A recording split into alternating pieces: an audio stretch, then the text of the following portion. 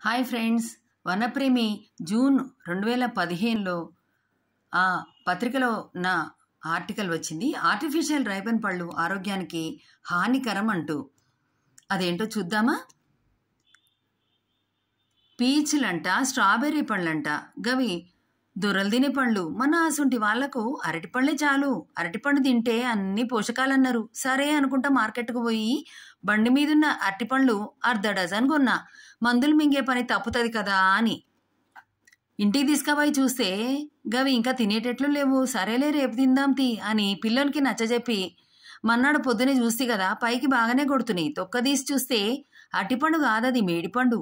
పైకి మేలిమిలాగా కొడుతుంది మరి.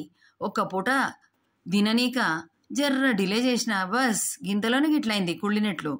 కానీ గివి తింటే ఏమయ్యేది? ఏంది? అని చాలా ఫికర్ అయింది నాకు. పక్కింటి నోట్లో పళ్ళు లేని పెద్ద ఆయన అన్నాడు మా కాలం పండ్లు ఆగివి చెట్టు పైన పండేవి? కోసి అమ్మేడిది? మా చిన్నప్పుడు మేము గట్లాంటి పండ్లు కమ్మంగా తినేది. బిడ్డ ఎంత తిన్నా ఇంకా తినాలనిపించేది ఒక్క పండు తింటే పొద్దుమీకి వరకు ఆకలన్నదే లేకపాయే. మరి గిప్పడివి? గా మందేందో? పొడి తీరున్నది. జల్లుతుండ్రంట. పచ్చికాయని మర్నాటికి పండు చేస్తే ఏమవుతుంది మరి మగ్గుతాయా పాడైతాయా బిడ్డ?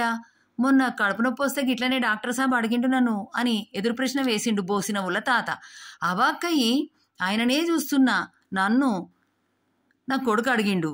అమ్మా అట్టిపండు తెచ్చి నాకెందుకు ఇస్తలేవే అని. నీ పైన ప్రేమ ఉంది కనుకనే కొడుక?